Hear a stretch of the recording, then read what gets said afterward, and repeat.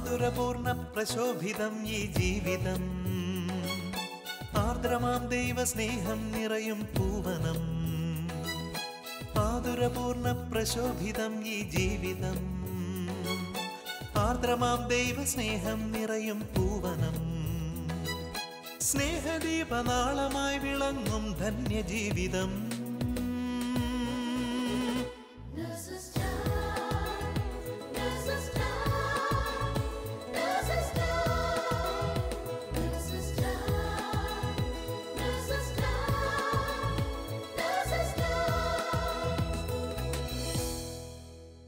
ഈശോ മിസിഹായിക്ക് സ്തുതിയായിരിക്കട്ടെ. നമ്മുടെ കുടുംബങ്ങൾ എന്നും ഈശോയ്ക്ക് പ്രീതികരമായി തീരട്ടെ എന്ന പ്രാർത്ഥനയോടെ ഇന്നത്തെ നഴ്സസ് ടൈമിലേക്ക് നിങ്ങൾ ഓരോരുത്തരെയും സ്വാഗതം ചെയ്യുന്നു. റോമ ഒമ്പത് ആറിൽ ഇപ്രകാരം പറയുന്നു ദൈവത്തിന്റെ തിരുവചനം ഒരിക്കലും പരാജയപ്പെട്ടിട്ടില്ല. സജീവവും ഊർജസ്വലവുമായ ദൈവ തിരുവചന ശക്തിയെക്കുറിച്ചും അതിൽ ആശ്രയിക്കേണ്ടതിന്റെ ആവശ്യകതയെക്കുറിച്ചും ഖത്തർ നഴ്സസ് മിനിസ്ട്രിയിലെ ജോസി സാമുവൽ പറയുന്നത് ഏറ്റവും സ്നേഹത്തോടെ നമുക്ക് ശ്രമിക്കാം പ്രിയപ്പെട്ട സഹോദരി സഹോദരന്മാരെ ലോകത്തിന്റെ നാനാഭാഗങ്ങളിൽ ഇരുന്ന് ശാലോം ടി വിയിലൂടെ എന്നെ ശ്രവിക്കുന്ന നിങ്ങൾക്കെല്ലാവർക്കും കർത്താവും ദൈവവുമായ യേശുക്രിസ്തുവിന്റെ പരിശുദ്ധ നാമത്തിൽ സ്നേഹവന്ദനം അറിയിക്കുന്നു. നാളുകളായി ദൈവവചനം ശ്രവിക്കുകയും ധ്യാനിക്കുകയും ചെയ്യുന്നവരാണ് നമ്മൾ. ദൈവവചനത്തിന്റെ ശക്തിയും പുതുമയും നഷ്ടപ്പെട്ടിട്ടില്ല എന്ന് പറയാൻ ഞാൻ ആഗ്രഹിക്കുന്നു. നമുക്കറിയാം ഒരു ബോംബ് പ്രയോഗിക്കുന്നവന്റെ ശക്തിയിലോ കാര്യക്ഷമതയിലോ അല്ല മറിച്ച് അത് അതിൽ തന്നെ ശക്തിയുള്ളതാണ്. ഹിബ്രാഹിം ലേഖനം നാലാം അധ്യായം പന്ത്രണ്ടാം വാക്യത്തിൽ നമ്മൾ വായിക്കുന്നു. ദൈവത്തിന്റെ വചനം സജീവവും ഊർജസ്വലവുമാണ് വീണ്ടും റോമാലേഖനത്തിൽ ഒമ്പതാം അധ്യായം ആറാം വാക്യത്തിൽ നമ്മൾ വായിക്കുന്നു ദൈവത്തിന്റെ വചനം ഒരിക്കലും പരാജയപ്പെട്ടിട്ടില്ല. ഇനിയും ഏഷ്യ പ്രവചനം അൻപത്തഞ്ചാം അധ്യായം പതിനൊന്നാം വാക്യത്തിൽ ദൈവത്തിന്റെ വചനം ആകാശത്തു നിന്ന് പെയ്യുന്ന മഞ്ഞും മഴയും പോലെയാണ്. ഫലം പുറപ്പെടുവിക്കാതെ അത് തിരിച്ചു വരികയില്ല എന്ന് ദൈവത്തിന്റെ വചനം പറയുന്നു. ഇത്രമാത്രം ശക്തിയേറിയ ഊർജസ്വലമായ ഒരിക്കലും പരാജയപ്പെട്ടിട്ടില്ലാത്ത ഫലം പുറപ്പെടുവിക്കാതെ തിരിച്ചു പോകാത്ത ദൈവത്തിന്റെ വചനം ഇന്ന് ഞാൻ നിങ്ങളോട് പങ്കുവയ്ക്കുമ്പോൾ പ്രിയപ്പെട്ടവരെ ഇത് കേൾക്കപ്പെടുന്ന സ്ഥലങ്ങളിൽ കേൾക്കുന്ന വ്യക്തിയിൽ ദൈവം ഒരു പ്രവൃത്തി ചെയ്യുമെന്ന് ഞാൻ വിശ്വസിക്കുന്നു. ഹാലലൂയ എഫ് എസോസ് ലേഖനം ആറാം അധ്യായം പത്ത് മുതൽ പതിനേഴ് വരെയുള്ള വാക്യങ്ങളിൽ പ്രിയപ്പെട്ടവരെ നമ്മൾ ആത്മീയ സമരത്തെക്കുറിച്ച് വായിക്കുന്നു. നമുക്കറിയാം ക്രിസ്തീയ ജീവിതം ഒരു ആത്മീയ സമരമാണ് യുദ്ധമാണ് എന്ന് നമുക്കറിയാം. ഈ യുദ്ധത്തിൽ യുദ്ധം ചെയ്യുന്ന വ്യക്തിയുടെ മുഴുവൻ ശക്തിയും അടങ്ങിയിരിക്കുന്നത് ദൈവത്തിലാണെന്ന് വിശുദ്ധ പൗലോസ്ലിഹ നമ്മളെ ഓർമ്മിപ്പിക്കുകയാണ്. ഏഴു കാര്യങ്ങളെക്കുറിച്ചാണ് പ്രധാനമായിട്ടും പൗലോസ്ലിഹ ഇതിൽ പറയുന്നത്. ഒന്നാമതായിട്ട് യുദ്ധം ചെയ്യുന്ന ഒരു വ്യക്തിയുടെ മുഴുവൻ ശക്തിയും ഇരിക്കുന്നത് കർത്താവിലും അവിടുത്തെ ശക്തിയുടെ പ്രാഭവത്തിലുമാണ്. ഇനിയും ആറ് ആയുധങ്ങളെക്കുറിച്ച് വിശുദ്ധ പൗലോസ്ലിഹ നമ്മളെ ഓർമ്മിപ്പിക്കുകയാണ്. സത്യം കൊണ്ട് അരമുറുക്കണം നീതിയുടെ കവചം ധരിക്കണം. സമാധാനത്തിന്റെ സുവിശേഷത്തിനുള്ള ഒരുക്കമാകുന്ന പാദരക്ഷകൾ ധരിക്കണം. വിശ്വാസത്തിന്റെ പരിചയെടുക്കണം രക്ഷയുടെ പടത്തൊപ്പി അണിയണം. ദൈവവചനമാകുന്ന ആത്മാവിന്റെ വാൾ എടുക്കണം. പ്രിയപ്പെട്ടവരെ ഈ ആയുധങ്ങളെക്കുറിച്ച് പറയുന്ന സമയത്ത് വിശുദ്ധ പൗലോസ്ലിഹ ഒരു വാക്ക് വളരെ പ്രത്യേകമായിട്ട് പറയുന്നുണ്ട്. സർവോപരി എന്ന് വെച്ചാൽ എല്ലാറ്റിലും ഉപരിയായി. എന്താണ് എല്ലാറ്റിലും ഉപരിയായി വിശ്വാസത്തിന്റെ പരിചയം എടുക്കണം എന്ന്? എന്നതുകൊണ്ട് വിശുദ്ധ പൗലോസ്ലിഹ അർത്ഥമാക്കുന്നത്. വിശ്വാസത്തിന്റെ പരിച ദുഷ്ടന്റെ ജ്വലിക്കുന്ന കൂരമ്പുകളെ കെടുത്തുന്നതിനാണ് ഉപയോഗിക്കേണ്ടത്. നമുക്കറിയാം അമ്പ് അതിൽ തന്നെ മാരകമാണ്. അത് തീ അമ്പാകുമ്പോൾ ഒരു പ്രദേശം മുഴുവൻ ചാമ്പലാക്കാൻ ഈ തീയമ്പിന് സാധിക്കും. ദുഷ്ടന്റെ ജ്വലിക്കുന്ന കൂരമ്പുകളെ കെടുത്തുന്നതിന് നിങ്ങളെ ശക്തരാക്കുന്നു. വിശ്വാസത്തിന്റെ പരിചയം എടുക്കുവിൻ. പിശാച് നമ്മുടെ നേരെ അയക്കുന്ന അവിശ്വാസത്തിന്റെയും നിരാശയുടെയും കൂരമ്പുകളെ കെടുത്താൻ വിശ്വാസത്തിന്റെ പരിചയം എടുക്കാൻ വിശുദ്ധ പൗലോസ്ലിഹ നമ്മെ ഓർമ്മിപ്പിക്കുകയാണ്. പ്രിയപ്പെട്ടവരെ തിന്മയുടെ ഏറ്റവും വലിയ ആക്രമണത്തിൽ നിന്ന് പോലും രക്ഷപ്പെടാൻ നമ്മെ സഹായിക്കുന്നു എന്നുള്ള ഒരു ദൈവീക ഉറപ്പ് തരികയാണ്. ഈ ഒരു ദൈവവചനത്തിലൂടെ. വിശ്വാസത്തിന്റെ പരിച അതായത് നമ്മളെ തകർത്ത് കളയാൻ വരുന്ന ദുഷ്ടന്റെ ജ്വലിക്കുന്ന കൂരമ്പുകളെ കെടുത്തുന്നതിന് നമ്മെ സഹായിക്കുന്നു. Hallelujah hallelujah. എന്ത് വിശ്വസിച്ചാണ് പ്രിയപ്പെട്ടവരെ ഈ പരിച ഉപയോഗിക്കേണ്ടത്? ദൈവം വിശ്വസിക്കാൻ കൊള്ളാവുന്നവനാണ്. ഇന്നലെയോളം എന്നെ കാത്തവൻ ഇന്നും കാക്കും എന്ന വിശ്വാസം. ബൈബിളിന്റെ ഭാഷയിൽ പ്രിയപ്പെട്ടവരെ വിശ്വാസം എന്ന് പറയുന്നത് a channel of living trust ജീവനുള്ള ഒരു ശരണത്തിന്റെ ചാലാണ് ബൈബിളിന്റെ ഭാഷയിൽ വിശ്വാസം എന്നത്. എപ്പോഴും ദൈവത്തിൽ ആശ്രയിക്കുക. ഇനി മറ്റൊരർത്ഥത്തിൽ പറഞ്ഞാൽ an assurance that stretches from man to God മനുഷ്യനിൽ നിന്ന് ദൈവത്തിലേക്ക് നീളുന്ന ഒരു ഉറപ്പ്. ദൈവമേ ഞാൻ അങ്ങിൽ ആശ്രയിക്കുന്നു.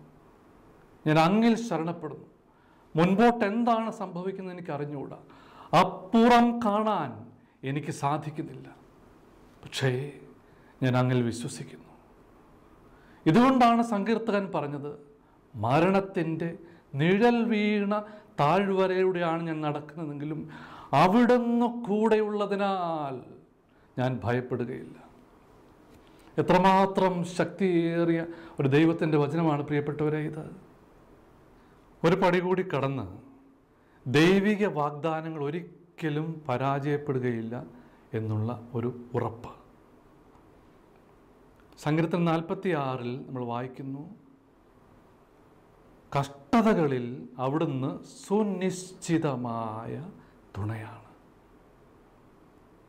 പർവതങ്ങൾ ഇളകിയാലും ഭൂമി ഇളകിയാലും പർവതങ്ങൾ അടർന്ന് സമുദ്രമധ്യത്തിൽ പതിച്ചാലും നാം ഭയപ്പെടുകയില്ല. പ്രിയപ്പെട്ടവർ എത്രമാത്രം ആഴമാണ് ഈ ദൈവവചനത്തിനുള്ളത്?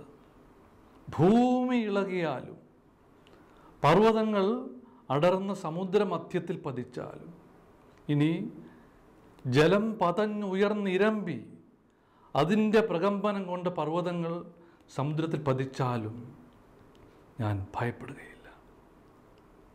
വീണ്ടും ഇരുപത്തിയേഴാം സംഘത്തിൽ നമ്മൾ വായിക്കുന്നു. കർത്താവിന്റെ പ്രകാശവും രക്ഷയുമാണ്. ഞാൻ ആരെ ഭയപ്പെടണം? ഹാലലുയ യേശുവേ നന്ദി. എന്തിന്റെ അടിസ്ഥാനത്തിലാണ് പ്രിയപ്പെട്ടവരെ നമ്മൾ വിശ്വസിക്കേണ്ടത്? ഇന്നലെയോളം നടത്തിയവൻ ഇന്നും നടത്തും എന്നുള്ള വിശ്വാസം. ഹാലലുയ്യ നമ്മൾ അന്ധമായി വിശ്വസിക്കുകയല്ല. അവർ ഫെയ്ത്ത് ഇസ് നോട്ട് ബ്ലൈൻഡ് തെളിയിക്കപ്പെട്ട വിശ്വസ്തയുടെ അടിസ്ഥാനത്തിലാണ് നമ്മൾ വിശ്വസിക്കുന്നത്. ഇന്നലകളിൽ അവൻ വിശ്വസ്തനാണെന്ന് തെളിയിക്കപ്പെട്ടു. ഹാലലൂയ ഫെയ്ത്തിന് ലോജിക്കില്ല പ്രിയപ്പെട്ടവരെ. മനുഷ്യന് മനുഷ്യൻ പറയുന്നതിൽ വിശ്വാസമുണ്ട്. പക്ഷേ ദൈവവചനത്തിൽ വിശ്വസിക്കാൻ പലപ്പോഴും നമ്മൾ പരാജയപ്പെട്ടു പോകുന്നു.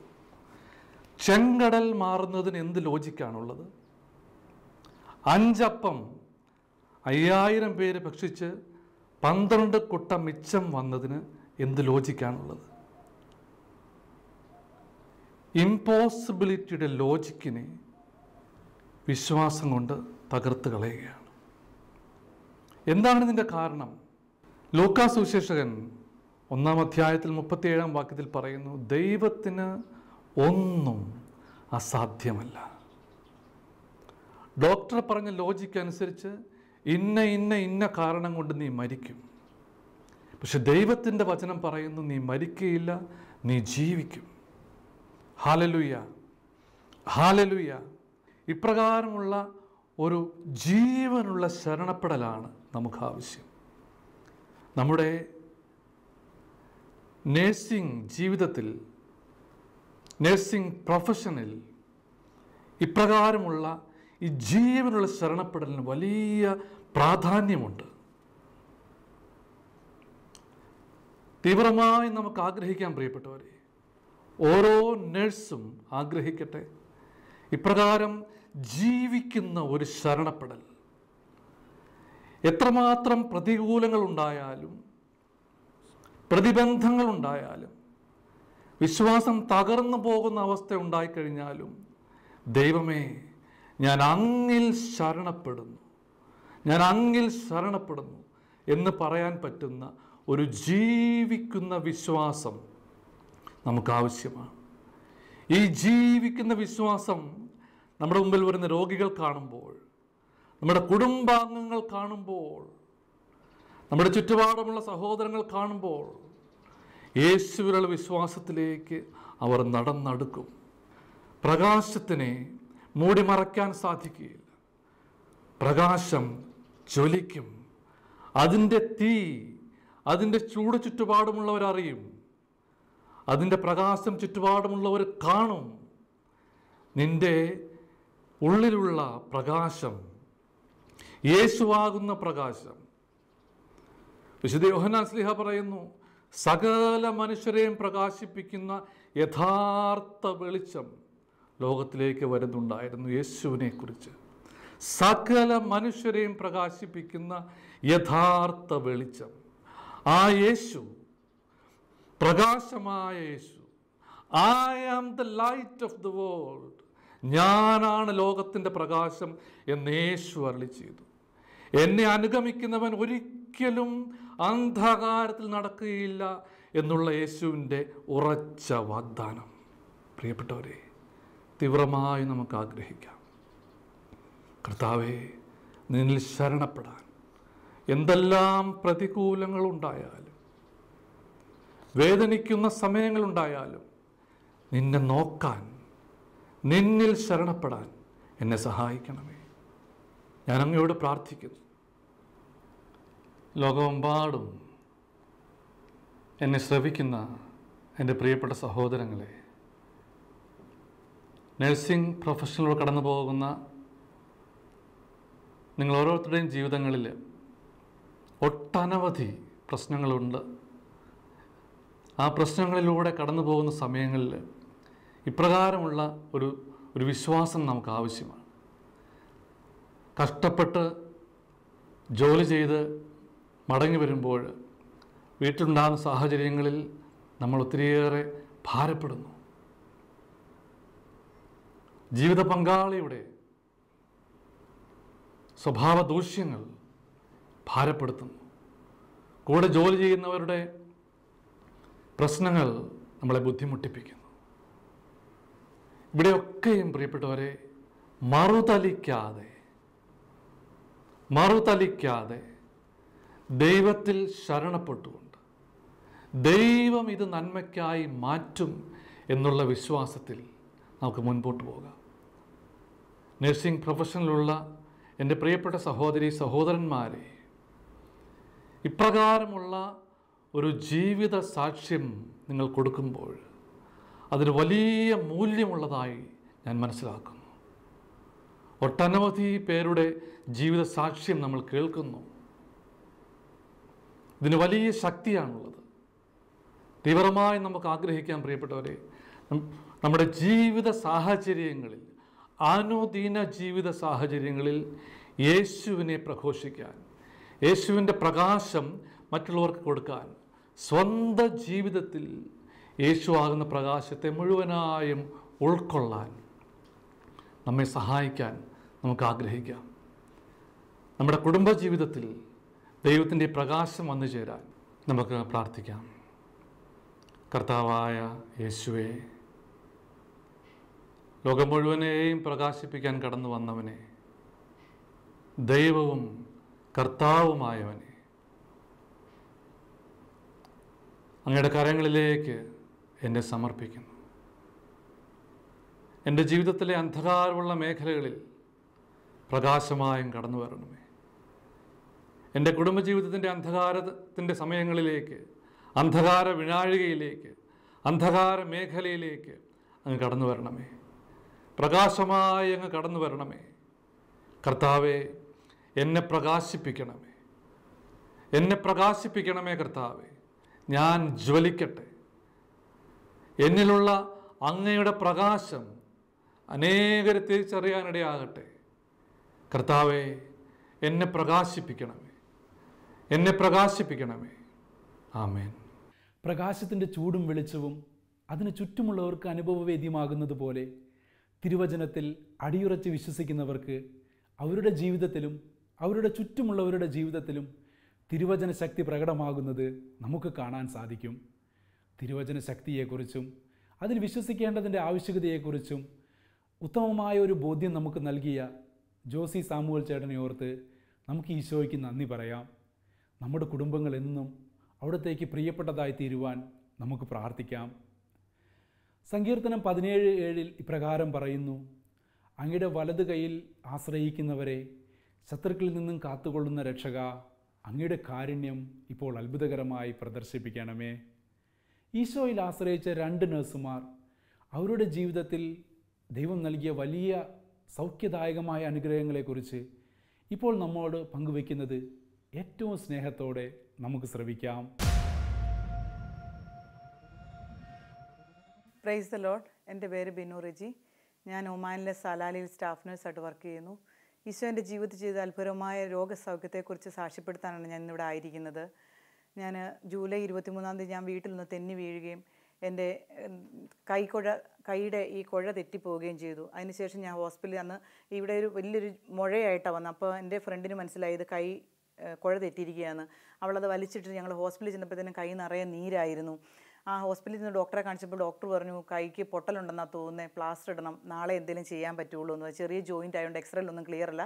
മൈൽഡ് ചെറുതായിട്ടുള്ളൊരു പൊട്ടൽ മാത്രമേ കാണുന്നുള്ളൂ എന്നാണ് പറഞ്ഞത് അതിനുശേഷം അവരെന്റെ കയ്യിൽ പ്ലാസ്റ്റർ ഇടുകയും ഞാൻ പത്ത് ദിവസത്തെ റെസ്റ്റ് തന്നെ എന്നെ വീട്ടിലേക്ക് അയക്കുകയും ചെയ്തു. പക്ഷേ എങ്കിൽ എന്റെ കൈക്ക് അതിഭയങ്കരമായ വേദന കാരണം ഒന്നും ചെയ്യുവാനോ കൈ അനക്കാൻ പോലും പറ്റാത്തൊരവസ്ഥയായിരുന്നു പ്രത്യേകിച്ച് എന്റെ ഈ തള്ളവിരൽ അങ്ങനെ ഞാൻ ആ പത്ത് ദിവസം കഴിഞ്ഞ് കഴിഞ്ഞ് ഹോസ്പിറ്റലിൽ ചെന്നപ്പോൾ അവർ പറഞ്ഞു ഒന്നും ക്ലിയറായിട്ട് കാണുന്നില്ല. അതുകൊണ്ട് പ്ലാസ്റ്റർ ഊരിയതിന് ശേഷം കൈക്കൊരു ബെൽറ്റ് സപ്പോർട്ട് റിസ്റ്റ് സപ്പോർട്ട് തന്നപ്പോൾ ഒരു ബെൽറ്റ്. അതിട്ടുകൊണ്ട് മാത്രമേ എന്തെങ്കിലും ചെയ്യാവുള്ളൂ. കൈ അഴിച്ചിടരുതെന്ന് പ്രത്യേകം ഒരു പറഞ്ഞിട്ട് പറഞ്ഞു എം ആർ ഐ ചെയ്തതിന് ശേഷം തീരുമാനിക്കാം.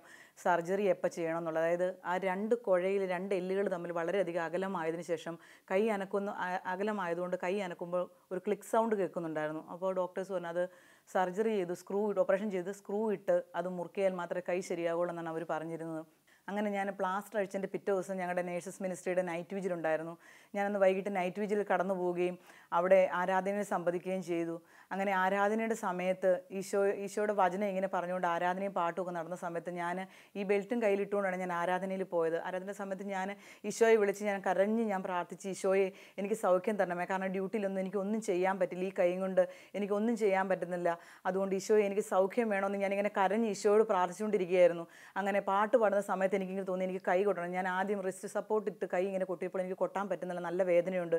അതിനുശേഷം ഞാൻ വീണ്ടും പ്രാർത്ഥിച്ച് ഈശോ എനിക്ക് സൗഖ്യം തന്നേ പറ്റുള്ളൂ. യാക്കോബ് അഞ്ച് പതിനാറ് പറയുന്നു വിശ്വാസത്തോടുള്ള പ്രാർത്ഥന രോഗിയെ സൗഖ്യപ്പെടുത്തും. കർത്താവ് അവനെ എഴുന്നേൽപ്പിക്കും. അവൻ പാപങ്ങൾ ചെയ്തിട്ടുണ്ടെങ്കിൽ മാപ്പ് നൽകുമെന്ന് വചനം പറയുന്നു. അതുകൊണ്ട് ഞാൻ ഈശോട് പ്രാർത്ഥിച്ചു ഈശോയെ മരുന്നോ ലേപനമോ അല്ല. അങ്ങയുടെ വചനത്താൽ എന്നെ സൗഖ്യപ്പെടുത്തണം ഞാൻ പ്രാർത്ഥിച്ചുകൊണ്ടിരുന്നു കരഞ്ഞു പ്രാർത്ഥിച്ചുകൊണ്ടിരുന്നു. അങ്ങനെ ഞാൻ ഈ പാട്ട് പാടിക്കൊണ്ടിരുന്നപ്പോൾ എനിക്ക് മനസ്സിലായി എന്റെ കൈയുടെ വേദന ഇല്ലാണ്ടായി. അപ്പോഴത്തേനും ഞാൻ കൈയുടെ സപ്പോർട്ട് ഞാൻ അഴിച്ചു കളയുകയും ഞാൻ വീണ്ടും ഈശോയെ കരഞ്ഞ് പ്രാർത്ഥിച്ചുകൊണ്ടിരുന്നു. ഈശോയെ എനിക്ക് സൗഖ്യം തരണമേ സൗഖ്യം തരണമെന്ന് അങ്ങനെ ആരാധന തീർന്നപ്പോൾ ഞാൻ ശ്രദ്ധിച്ചു എന്റെ കൈയുടെ വേദന പൂർണമായി മാറി. എനിക്ക് ഈ വിരൽ ഇങ്ങനെ മടക്കാൻ പറ്റി. അന്നാണ് ആ പ്രാർത്ഥനയുടെ സമയത്താണ് എനിക്ക് കൈ മടക്കാൻ പറ്റിയത്.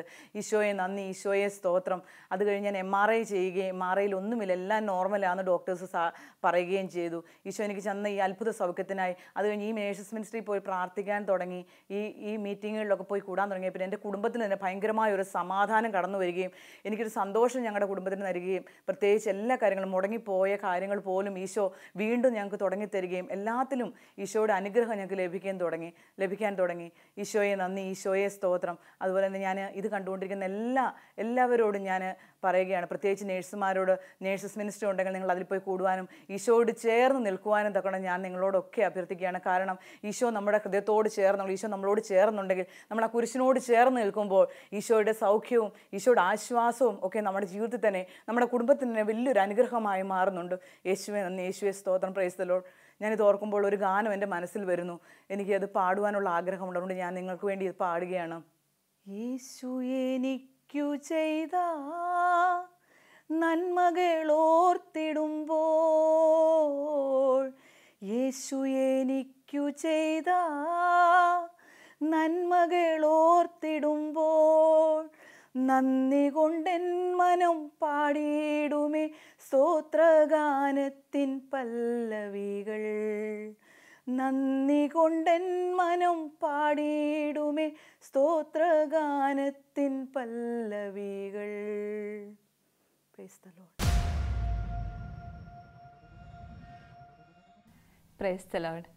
ജോയൽ പ്രവാചകന്റെ പുസ്തകം രണ്ടാം അധ്യായം മുപ്പത്തിരണ്ടാം വാക്യം. കർത്താവിന്റെ നാമം വിളിച്ചപേക്ഷിക്കുന്നവരെ രക്ഷ പ്രാപിക്കും എന്റെ പേര് ഹിമ. ഞാൻ അബുദാബിയിൽ നേഴ്സായി വർക്ക് ചെയ്യുന്നു. ഞാനും എന്റെ ജീവിത പങ്കാളിയും രണ്ട് മക്കളും അടങ്ങുന്നതാണ് ഞങ്ങളുടെ കുടുംബം. ലോകമെമ്പാടുമുള്ള നേഴ്സുമാർക്കും മറ്റെല്ലാവർക്കും ദൈവമഹത്വത്തിനായി എന്റെ ജീവിതത്തിലുണ്ടായ ഒരു അനുഭവം ഞാൻ പങ്കുവെക്കുകയാണ് നഴ്സിംഗ് ജോലിയുടെ മഹത്വം അറിയാതെയാണ് ഞാൻ നഴ്സിംഗ് പ്രൊഫഷൻ തിരഞ്ഞെടുത്തത്. എന്റെ പഠനം പൂർത്തിയാക്കി അഹമ്മദാബാദിൽ വർക്ക് ചെയ്തുകൊണ്ടിരിക്കുമ്പോൾ ഒരു ആക്സിഡന്റ് ഉണ്ടായി. എന്റെ ബാക്കിന് കാര്യമായ ക്ഷതമേറ്റു. ഡോക്ടേഴ്സും എല്ലാവരും നിർദ്ദേശിച്ചത് കംപ്ലീറ്റ് ബെഡ് റെസ്റ്റും പെയിൻ കില്ലേഴ്സും ആയിരുന്നു. പൂർണ സൗഖ്യം അപ്പോഴും എനിക്ക് കിട്ടിയില്ല. പിന്നീട് ഞാൻ നാട്ടിൽ വന്ന് ആയുർവേദം പരീക്ഷിച്ചു. അപ്പോഴും ദൈവത്തിലേക്ക് തിരിയാനോ ദൈവത്തിൽ ആശ്രയിക്കാനോ എനിക്ക് തോന്നിയില്ല. പെയിൻ കില്ലേഴ്സ് ആയിരുന്നു അപ്പോഴും ആശ്രയം. ഇതിനിടെ ഞാൻ വിവാഹിതയായി. ഞങ്ങൾക്ക് ദൈവം ഒരു മകനെ നൽകി അനുഗ്രഹിച്ചു. ഡെലിവറിക്ക് ശേഷം വീണ്ടും വേദനകളെല്ലാം തിരിച്ചു വന്നു. മരുന്നുകൾ മാത്രം ആയിരുന്നു അപ്പോഴും ഞാൻ ആശ്രയിച്ചിരുന്നത്. പിന്നീട് ജോലിക്കായി ഞാൻ ഗൾഫിലേക്ക് വന്നു. ഇതിനിടെ സെഹിയോൻ ധ്യാന കേന്ദ്രത്തിൽ വെച്ച് നഴ്സസ് മിനിസ്ട്രിയിലെ ഒരു സിസ്റ്ററെ ഞാൻ പരിചയപ്പെട്ടു. സിസ്റ്റർ വഴി നഴ്സസ് മിനിസ്ട്രിയെക്കുറിച്ച് കൂടുതൽ അറിയുവാനും പ്രാർത്ഥനയിൽ പങ്കെടുക്കാനും ഞാനും എന്റെ കുടുംബവും ശ്രമിച്ചിരുന്നു. വീണ്ടും ഒരു പെൺകുഞ്ഞിനെ നൽകി ഞങ്ങളെ ദൈവം അനുഗ്രഹിച്ചു. ആ ഡെലിവറിക്ക് ശേഷം വേദന അതികഠിനമാവുകയും ബെഡിൽ നിന്ന് എഴുന്നേൽക്കാൻ പോലും പറ്റാത്ത ഒരു അവസ്ഥയായി. ഞങ്ങളൊരു ഓർത്തോപീഡീഷ്യനെ കണ്ടു. എം ആർ ഐയിൽ അത് ഡയഗ്നോസിസ് ചെയ്തു സാക്രൈലേറ്റീസ് അദ്ദേഹം ഞങ്ങളെ ഒരു റൊമറ്റോളജിസ്റ്റിനെ റെഫർ ചെയ്തു. അദ്ദേഹത്തിന്റെ നിർദ്ദേശപ്രകാരം ഞങ്ങൾ ബോൺ ടി ബി ടെസ്റ്റ് ചെയ്തു. അതിൽ വീക്ക് പോസിറ്റീവായിരുന്നു ഡോക്ടർ പറഞ്ഞു ടി ബി ഉണ്ടാകാനോ ഉണ്ടാകാതിരിക്കാനോ സാധ്യതയുണ്ടെന്ന്. ഞാനും എന്റെ ജീവിത പങ്കാളിയും വളരെയധികം നിരാശരായിരുന്നു. അങ്ങനെയിരിക്കെ എന്റെ ജീവിതത്തിൽ ഒരു അത്ഭുതമുണ്ടായി. നേഴ്സസ് മിനിസ്റ്ററിലെ സഹോദരിമാർ റൂമിൽ വന്ന് ഞങ്ങളെല്ലാവരും ദൈവത്തെ ഒരുമിച്ച് മഹത്വപ്പെടുത്തി. അപ്പോൾ തന്നെ വലിയൊരു ഹീലിംഗ് എനിക്ക് അനുഭവപ്പെട്ടു. ബെഡിൽ നിന്നും എഴുന്നേൽക്കാനോ രണ്ട് മിനിറ്റ് പോലും നിൽക്കാനോ പറ്റാതിരുന്ന ഞാൻ എഴുന്നേറ്റ് അവരെ ശുശ്രൂഷിക്കുവാനും അവരെ യാത്ര അയക്കുവാനും എല്ലാം എനിക്ക് സാധിച്ചു. തൊട്ടടുത്ത ദിവസം ബോൺ ട്യൂബർഗ്ലോസിസിന്റെ റിസൾട്ട് വന്നു. നെഗറ്റീവായിരുന്നു. എന്റെ ദൈവത്തിന് കോടാനുകൂടി നന്ദി. ഇത്രയും നാളും സഹനങ്ങളും കഷ്ടപ്പാടുകളും തന്നത് എനിക്ക് ദൈവത്തെ കൂടുതൽ അറിയുവാനും ദൈവത്തെ കൂടുതൽ അനുഭവിക്കാനുമായി ദൈവം എന്നെ പാകപ്പെടുത്തുകയായിരുന്നു. അതിനുശേഷം ദൈവം എനിക്ക് എന്റെ ജീവിതത്തിൽ തന്ന അനുഗ്രഹങ്ങൾ പറയാവുന്നതിലും അപ്പുറമാണ്. എനിക്ക് ദൈവം പുതിയൊരു ഹോസ്പിറ്റലിൽ നല്ലൊരു ജോലി നൽകി. ജോലിക്ക് ജോയിൻ ചെയ്ത് ഒരു മാസത്തിനുള്ളിൽ തന്നെ സൂപ്പർ ഹീറോ റെക്കഗ്നൈസേഷൻ അവാർഡ് ദൈവം എനിക്കായിട്ട് കാത്തുവച്ചിട്ടുണ്ടായിരുന്നു. നഴ്സിംഗ് എന്നത് ഒരു ജോലി മാത്രമല്ല ദൈവത്തിന്റെ ഒരു ശുശ്രൂഷ കൂടിയാണ്. നമ്മുടെ ജീവിതത്തിലെ സഹനങ്ങളും കഷ്ടപ്പാടുകളും ദൈവം നമുക്കായി തരുന്നത്. നമ്മളെ വിശദീകരിച്ച് ദൈവത്തിങ്കിലേക്ക് കൂടുതൽ അടുക്കുവാനും ദൈവത്തെ കൂടുതൽ അറിയാനുമാണ് എന്റെ ഈ സാക്ഷ്യം എന്നെ കേട്ടുകൊണ്ടിരിക്കുന്ന നിങ്ങളെല്ലാവർക്കും ദൈവത്തെ കൂടുതൽ അറിയുവാനും ദൈവവിശ്വാസത്തിലേക്ക് കൂടുതൽ അടുക്കുവാനും ഇടയാകട്ടെ എന്ന് ഞാൻ പ്രാർത്ഥിക്കുന്നു. ദൈവത്തിന് നന്ദി. എല്ലാറ്റിലും ഉപരി ഈശോയിൽ ആശ്രയിച്ചപ്പോൾ ഈ രണ്ട് നഴ്സുമാരുടെ ജീവിതത്തിൽ അവിടുന്ന് നൽകിയ വലിയ സൗഖ്യദായകമായ അനുഗ്രഹങ്ങളെ പ്രതി നമുക്ക് ഈശോയ്ക്ക് നന്ദി പറയാം. നാം കണ്ടുമുട്ടുന്ന ഓരോ രോഗികളിലേക്കും നമ്മുടെ കൂടെ ജോലി ചെയ്യുന്ന വിഷമിക്കുന്ന ഓരോ നഴ്സുമാരിലേക്കും ഈശോയെ കൊടുക്കുവാൻ ഈ സൗഖ്യദായകമായ അനുഗ്രഹങ്ങൾ നമുക്ക് പ്രചോദനമാകട്ടെ. നമ്മുടെ അനുദിന ജീവിതത്തിൽ പ്രശ്നങ്ങളും പ്രയാസങ്ങളും ഉണ്ടാകുമ്പോൾ മനുഷ്യരിൽ ആശ്രയിക്കാതെ എല്ലാറ്റിലും ഉപരിയായി ഈശോയിൽ ആശ്രയിക്കുവാൻ നമുക്ക് പ്രാർത്ഥിക്കാം. അതിനുള്ള കൃപയ്ക്കായി ലോകമെമ്പാടുമുള്ള എല്ലാ നഴ്സുമാരെയും അവരുടെ കുടുംബങ്ങളെയും പരിശുദ്ധ അമ്മയുടെ വിമല ഹൃദയം വഴി ഈശോയ്ക്ക് സമർപ്പിച്ച് നമുക്ക് പ്രാർത്ഥിക്കാം. ഓരോ നഴ്സും ഒരു വിശുദ്ധനായി വിശുദ്ധയായി തീരട്ടെ. ദൈവമാതാവും ഞങ്ങളുടെ അമ്മയുമായ കന്യകാമറിയമേ ഫാത്തിമാനാഥേ എന്നെയും എന്റെ കുടുംബത്തെയും തിരുസഭയെയും മാനവകുലത്തെയും ലോകമെമ്പാടുമുള്ള നേഴ്സുമാരെയും അങ്ങേ വിമല ഹൃദയത്തിന് പ്രതിഷ്ഠിക്കുന്നു. അങ്ങേ ശക്തിയുള്ള സംരക്ഷണത്തിൽ ഞങ്ങളെ കാത്തുകൊള്ളണമേ. അങ്ങ് ഞങ്ങളുടെ നാഥയും സംരക്ഷകയുമാകണമേ. ആത്മീയവും ശാരീരികവുമായ സകല അപകടങ്ങളിലും ക്ലേശങ്ങളിലും നിന്ന് ഞങ്ങളെ രക്ഷിച്ചുകൊള്ളണമേ. എല്ലാറ്റിലും ദൈവേഷ്ടം കണ്ടെത്തി നിറവേറ്റുവാനും യേശുവിന്റെ തിരുഹൃദയത്തിന് പ്രീതികരമായ വിധത്തിൽ ജീവിച്ച് സ്വർഗഭാഗ്യത്തിലെത്തിച്ചേരുവാനും കാരുണ്യനാഥേ ഞങ്ങളുടെ സ്നേഹമുള്ള അമ്മേ ഞങ്ങളെ സഹായിക്കണമേ. ആമേൻ.